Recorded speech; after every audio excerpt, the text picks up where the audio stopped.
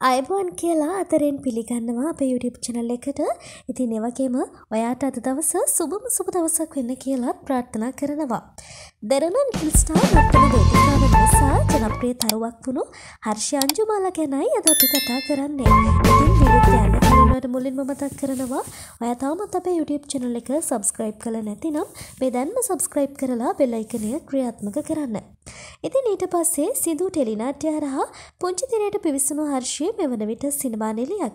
ඉතින් හර්ෂිව ලොකු පිරිසක් හඳුනගන්නේ ඇයට විශාල ප්‍රේක්ෂක ආදරයක් ලැබෙන්නේ රාජිනී ටෙලිනාට්‍ය හරහයි.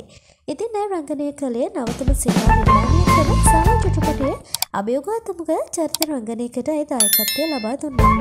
ඉතින් හර්ෂ අංජුමාලා රංගනය කළ සාහ චිත්‍රපටය මේ වසරේ අප්‍රේල් අන්තිමට ප්‍රදර්ශනය ආරම්භ කරන්න සූදානමින් තියෙනවා. ඉතින් එම චිත්‍රපටය විශ්වවිද්‍යාල ජීවිතය පාදක කර ගනිමින් ලියවුණු නිර්මාණයක්. ඉතින් මේ චිත්‍රපටය රුගත කිරීම් කළෙත් කැලණිය විශ්වවිද්‍යාලයමයි. හර්ෂී සැබෑ ජීවිතයේදීත් කැලණිය විශ්වවිද්‍යාලය අධ්‍යාපනය ලබපු කෙනෙක්. ඉතින් හර්ෂී සහ චිත්‍රපටය ගැන වගේම එක ඉදිරි බලාපොරොත්තු ගැන අදහස් දක්වලා තිබුණේ මේ විදිහට. මම ටික කාලයකට මහත්තයාට මහත්තයා ළඟට යන්න ඉන්නේ. ඊට කලින් පොඩි විවේකයක් ගන්න ඕන.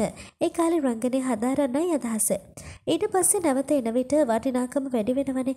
මම රංගනය අත්හරින්නේ නැහැ.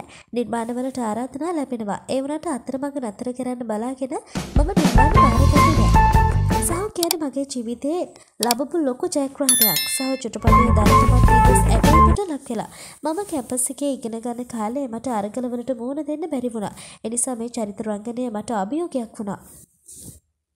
ඔන්න ඉතින් මේ විදිහටයි ජනප්‍රිය රංගන ශිල්පිනේ හර්ෂි අංජුමාලා අදහස් දක්වලා තිබුණේ. ඉතින් අද වීඩියෝ එක ගැන ඔයාගේ අදහසත් අපිට කමෙන්ට් කරන්න. අද ඔයාලගේ සමගතනවා යන්න කලින් ඔයාට අයිත් මතක් කරනවා. ඔයා තවමත් අපේ YouTube channel එක subscribe කරලා නැත්නම් මේ දැන් subscribe කරලා bell icon එකත් ක්‍රියාත්මක කරන්න.